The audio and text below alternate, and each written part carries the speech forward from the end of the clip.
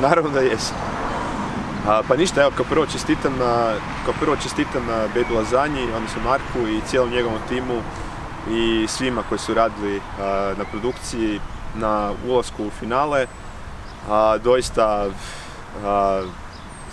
super energija je bila u, Malmu i svi s nestrpljenjem čekamo to finale i nadamo se pobjedi Hrvatske. A, još jedno pozivam sve građane da dođu prvi puta na gledanje finalnog, finala Eurosonga koji će biti na javnoj površini, koji će biti na Europskom trgu. A, ja ću isto tako doći. I evo, s nestrpljenjem kažem, čekamo subotu.